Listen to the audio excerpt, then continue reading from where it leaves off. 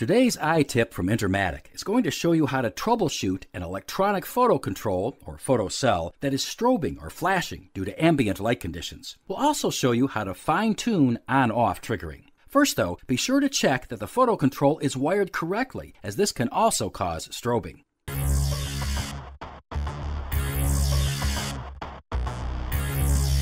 Let us know if you like it with a thumbs up at the end.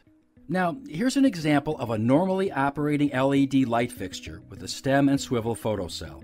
It turns on and off at dusk and dawn according to your schedule. But snow, light pollution, multiple light fixtures, or an all white building can all create reflective light, and this can cause your light fixture to cycle rapidly or to strobe on and off. We can help you address this.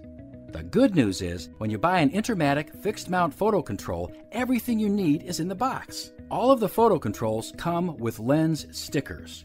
The stem and swivel and stem mount models also come with a metal bracket known as a slider or shutter. And the flush mount models come with a plastic dome, also referred to as a shield or shade. The solution you find will depend on the intensity of the light. Now let's adjust a stem and swivel photo control by angling the photo eye away from the light source. Now this may not be enough though, depending on the reflective light so you can use the metal bracket or slider. Another option is this sticker. It's important to note that covering the entire eye with the sticker or slider does not disable the photo control. On a flush mount photo control, you can use either the dome shield or the sticker, or both. The dome guard snaps on over the lens and can be rotated to block out bouncing light. Now, in this example, with high reflective light in our lab, we were able to address the strobing by reorienting the lens and adding the metal shutter to the stem and swivel photo control. As you can see, it is now operating perfectly. Now we're going to show you how to adjust a photo control's sensitivity. Okay, it's past dusk, dark outside, and the lights haven't turned on. How can this photo control be adjusted to address this?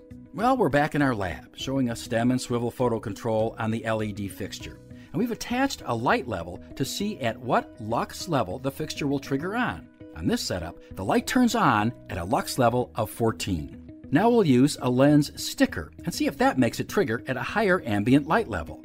It's important to note these types of adjustments may translate into 15 to 30 extra minutes of on time per day, and this will vary based on your location and the time of year.